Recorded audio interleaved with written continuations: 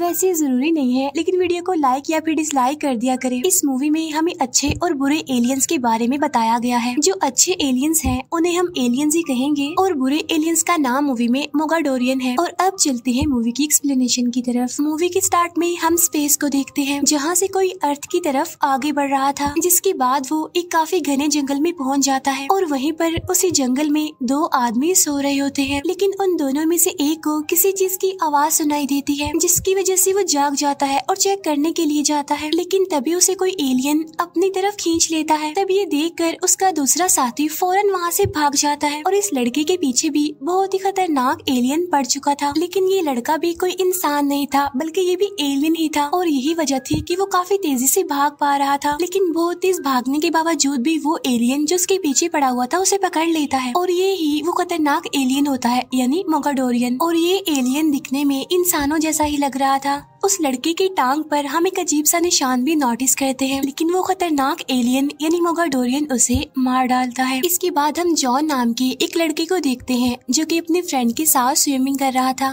और उसके लेग पर भी सेम वैसा ही निशान था, लेकिन तभी उस निशान में कुछ होने लगता है, और उसकी लेग पानी के अंदर ही तेज रोशनी के साथ बुरे तरीके से जलने लगती है, जिसकी वजह से उसे काफ़ी पेन भी होती है। साथ साथ उसे अपने एक साथी का विजन भी आता है, जहाँ पर उसके साथी को उस खतरनाक एलियन यानी मोगाडोरियन ने मार दिया था। और देखते ही देखते उसकी लेग पर जो लाइट जल रही थी, वो और ज़्यादा तेज हो जाती है, जिससे उसकी फ्रेंड काफ़ी डर जाती है और वहाँ से भाग जाती है। साथ साथ जॉन भी किनारे पर आकर बेहोश हो जाता है। इसके बाद हमें पता चलता है कि वो सारे एलियंस हैं और ये वाले अच्छे एलियंस हैं जो लोरियन प्लेनेट से प्लेनेट अर्थ पर रहने आए हैं, क्योंकि उनके प्लेनेट पर मोगाडोरियन ने अटैक कर दिया था। और मोगाडोरियन ऐसे खतरनाक एलियंस होते हैं जो सभी प्लैनेट्स को खत्म करना चाहते हैं। लेकिन अब क्योंकि लोरियन प्लेनेट के एलियंस ही मोगाडोरियन को खत्म कर सकते हैं। तो यही वजह थी कि वो एलियंस अर्थ पर आए थे और ये टोटल आठ थे। और ये अर्थ पर तब तक रहेंगे जब तक कि इनकी पावर्स डेवलप ना हो जाए। और जब ये एलियंस फुली डेवलप्ड हो जाएँगे तो वो मोगाडोरियंस को हरा देंगे। लेकिन उनकी पावर्स बढ़ने से पहले उन्हें छुप कर रहना होगा, वरना मोगाडोरियन इन्हें मार देंगे। अब मोगाडोरियन इनके पीछे इसीलिए पड़ गए थे क्योंकि मोगाडोरियंस को इन लोगों से खतरा होता है। क्योंकि इन आठ एलियंस के पास बहुत सारी पावर्स होती हैं, क्योंकि ना तो ये आग में जल सकते हैं और ना ही पानी में डूब सकते हैं। लेकिन उनकी पावर्स डेवलप्ड होने में अभी टाइम था और तभी जॉन के पास एक आदमी आता है, जो कि उसका प्रोटेक्टर होता है। लेकिन हम देखते हैं कि मोगाडोरियंस को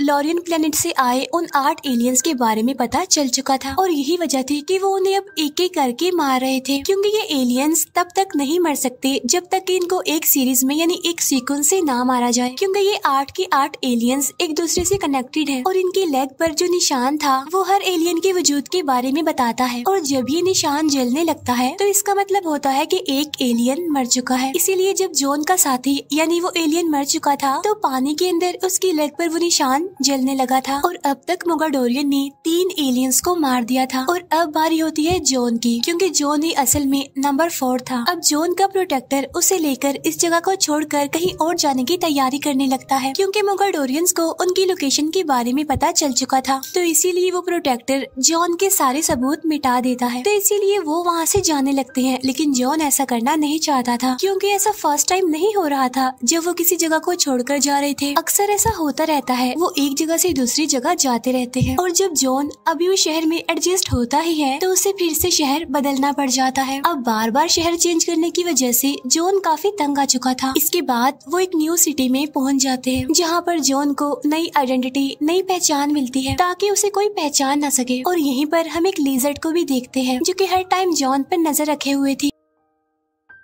इसके बाद वो लिजर्ट एक डॉग में कन्वर्ट होकर जॉन के घर पहुँच जाती है। यहाँ पर वो डॉग हर चीज़ को बड़ी गौर से देख रहा था। इसके बाद हमें जॉन का पुराना घर दिखाया जाता है, जहाँ पर नंबर सिक्स एलियन आती है और वो जॉन के घर को आग लगा देती है। इसके बाद जॉन कॉलेज जाता है ताकि वो एक नॉर्मल लाइफ गुजार सके और किसी को उसके बारे में पता भी न चल सके और इसी कॉलेज में वो सैरा नाम की एक लड़की से मिलता है, लेकिन वहाँ पर एक काफ़ी रूड लड़का था जो जॉन को बिल्कुल भी पसंद नहीं करता था और इसी वजह से उन दोनों के बीच कुछ बहस हो जाती है। दूसरी तरफ़ मोगा डोरियन जॉन के पुराने घर पर पहुँच गए थे, लेकिन जॉन उन्हें वहाँ पर नहीं मिलता। इसके बाद हमें जॉन दिखाया जाता है, जिसकी पावर्स डेवलप्ड होकर काफ़ी बढ़ चुकी थी। यानी उसकी पावर्स आउट ऑफ़ कंट्रोल हो गई थी, लेकिन जॉन का प्रोटेक्टर उसे रिलैक्स करता है, जिसकी वजह से जॉन वापस से नॉर्मल हो जाता है। इसके बाद जॉन अपनी फ्रेंड सैरा के घर डिनर पर जाता है, जहाँ पर वो सैरा की फैमिली से मिलता है। अब क्योंकि जॉन की अपनी फैमिली तो थी नहीं, इसीलिए वो उनके बीच काफ़ी अच्छा फील कर रहा था। मीन दूसरी तरफ़ उसका प्रोटेक्टर पूरी सिटी की डिटेल्स निकाल रहा था, जहाँ पर उसे एक साइंटिस्ट के बारे में पता चलता है, जो कि असल में एक एलियन हंटर था, और उस एलियन हंटर के बेटे सैम की फ्रेंडशिप जॉन से हो गई थी। इसके बाद वो प्रोटेक्टर उनकी सारी डिटेल्स निकाल लेता है, और उनको ढूंढते हुए वो एक फैक्ट्री में आ जाता है, जहाँ पर उस प्रोटेक्टर को एक बेसमेंट भी मिली थी, जहाँ पर उसे एलियंस के निशान मिलते हैं। तो वो सोचता है कि यहाँ पर एलियन नंबर थ्री आया होगा, लेकिन तभी मोगाडोरियन ने उसे मार दिया, और इसी दौरान उस प्रोटेक्टर को वहाँ पर एक अजीब सा पत्थर भी मिलता है, जिसके अंदर नीले रंग की कोई चीज़ लगी हुई थी। घर आकर वो प्रोटेक्टर इस पत्थर को चेक करता है, जिससे उसे पता चलता है कि ये असल में एक खास किस्म का मैप है, जो कि सारे प्लैनेट्स को एक तरह से जोड़ता है। दूसरी तरफ़ जोन सैरा के साथ एक पार्क में आया होता है, लेकिन तभी वहाँ पर वो रूड लड़का भी आ जाता है, जो अपने फ्रेंड्स के साथ मिलकर जोन पर अटैक कर देता है। लेकिन इस बार जॉन भी चुप नहीं बैठता, बल्कि वो अपनी पावर्स का इस्तेमाल करके उनका मुकाबला करता है, क्योंकि वो सैरा को मुसीबत में देखकर कंट्रोल से बाहर हो गया था। लेकिन अब उसकी पावर्स के बारे में उसके फ्रेंड यानी उस एलियन हंटर के बेटे को पता चल जाता है, यानी सैम को। इस बात की वजह से सैम को काफ़ी गुस्सा आता है और वो जॉन को कहता है कि मेरे फादर ने अपनी सारी ज़िंदगी एलियंस को ढूँढने में ही लगा दी, जिसकी वजह से सारे लोग उन्हें पागल कहते थे, लेकिन वो अपनी जगह पर सही थी, क्योंकि एलियंस तो सच में होते हैं। और देखो ना, तुमने आज ये बात साबित भी कर दी, लेकिन अब क्योंकि जॉन ये बिल्कुल भी नहीं चाहता था कि किसी को उसके बारे में पता चल जाए तो इसीलिए वो सैम को उसके बारे में किसी को भी बताने से मना करता है, क्योंकि अगर उसने किसी को बता दिया तो अर्थ पर मौजूद सारे एलियंस खतरे में पड़ जाएँगे। तो इसीलिए सैम उसे कहता है कि ओके ऑल राइट मैं किसी को कुछ नहीं बताऊँगा। क्योंकि आफ्टर ऑल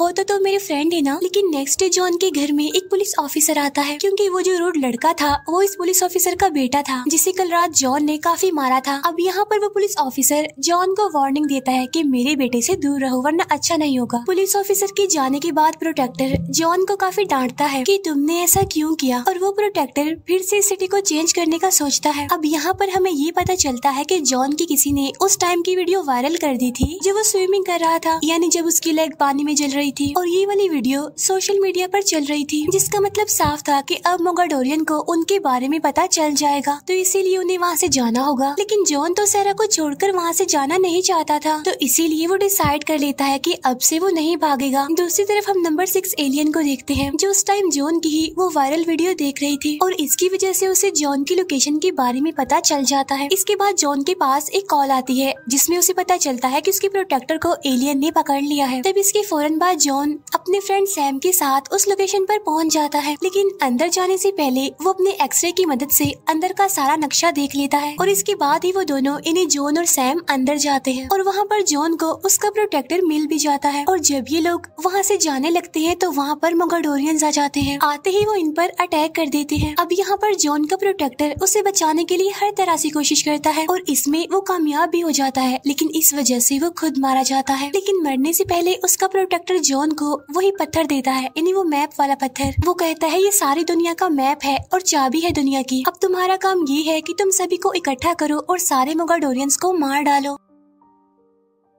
जाते जाते सैम जोन को बताता है कि इस पत्थर का आधा टुकड़ा मेरे पास है। इसके बाद वो दोनों सैम के घर की तरफ़ जाने लगते हैं। लेकिन तभी पूरे शहर की पुलिस जॉन को ढूंढ रही होती है, क्योंकि उस पुलिस ऑफिसर ने जॉन पर तरह तरह के इल्ज़ाम लगा रखे थे। साथ साथ वो पुलिस ऑफिसर सैरा को भी जॉन से दूर रहने के लिए कहता है। वो सैरा को बताता है क्योंकि जॉन एक खतरनाक क्रिमिनल है, जिसकी वजह से अब सैरा को भी जॉन पर शक होने लगता है। फिर सैरा जॉन के पास चली जाती है और ये दोनों छत पर होते हैं। लेकिन इससे पहले की जॉन सैरा को कुछ बता बता पाता वहाँ पर पुलिस आ जाती है और तब जल्दी जल्दी वहाँ से भागने की वजह से सैरा वहाँ से गिर जाती है। लेकिन जॉन अपनी एलियन पावर्स की मदद से सैरा को बचा लेता है, जिसके फ़ौरन बाद जॉन और सैरा वहाँ से भाग जाते हैं। लेकिन पुलिस ने सारे रास्ते ब्लॉक किए हुए थे और यहाँ पर भी जॉन पुलिस से बचने के लिए अपनी पावर्स का इस्तेमाल करता है। इसके बाद वो सैरा को लेकर वहाँ से भाग जाता है। लेकिन पुलिस ऑफिसर का बेटा यानी वो रोड लड़का उन दोनों को भागते हुए देख लेता है। इसीलिए वो अपने फादर के साथ मिलकर जॉन और सैरा को ढूँढने लगता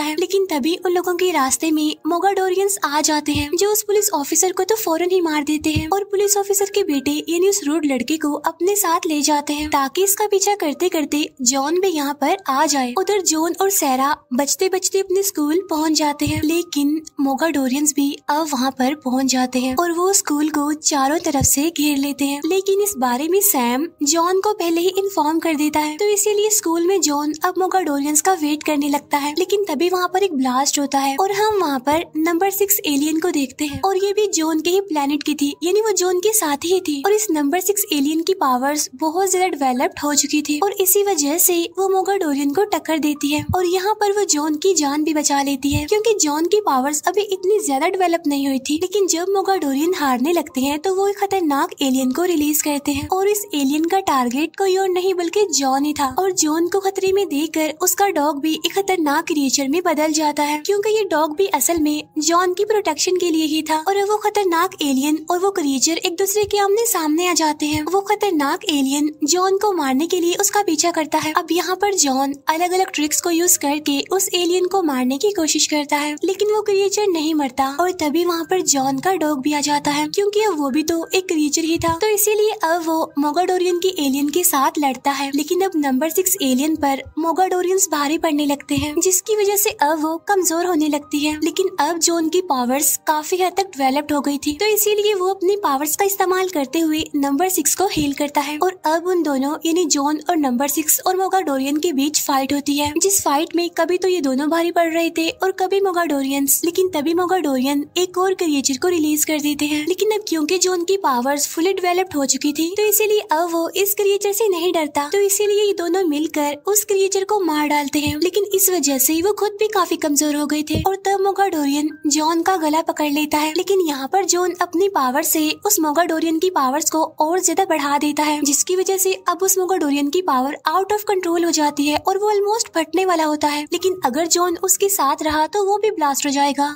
तो इसीलिए नंबर सिक्स एलियन आकर जॉन को बचा लेती है। तो इस तरह से वो दोनों मोगाडोरियन को मार डालते हैं। मोगाडोरियन के एक्सप्लोड होने की वजह से वहाँ पर एक काफ़ी बड़ा ब्लास्ट होता है, लेकिन ये दोनों किसी तरह उसमें भी बच जाते हैं। इसके बाद जॉन और नंबर सिक्स एलियन उन दो पत्थरों को आपस में जोड़ते हैं और ऐसा करते ही वो पत्थर अपने आप से ही राख बन जाता है। इट्स मीन, उस पत्थर में जो कुछ भी था, अब वो इन दोनों के पास आ चुका था। इसके बाद जॉन सैरा को गुड बाय कहता है, क्योंकि उस मैप की मदद से उसने दुनिया के अलग अलग हिस्सों में जाना था, ताकि इन मेगाडोरियंस को जड़ से ही खत्म कर सके, जिससे पूरे यूनिवर्स में अमन सुकून हो जाएगा। लेकिन जाते जाते जॉन सैरा को कहता है कि मैं वापस ज़रूर आऊँगा, इसके बाद जॉन, नंबर सिक्स प्लेनेट और सैम वहाँ से चले जाते हैं। और तभी वहाँ पर वो रोड लड़का भी आ चुका था, जो कि जॉन को उसका एक बॉक्स लुटाने आया था। क्योंकि जॉन का ये बॉक्स उसने चुरा लिया था साथ साथ उसे यहाँ पर अपनी गलती का एहसास भी होता है। तो इसीलिए वो जॉन से माफ़ी माँगता है और इसी के साथ इस मूवी का दी एंड भी हो जाता है।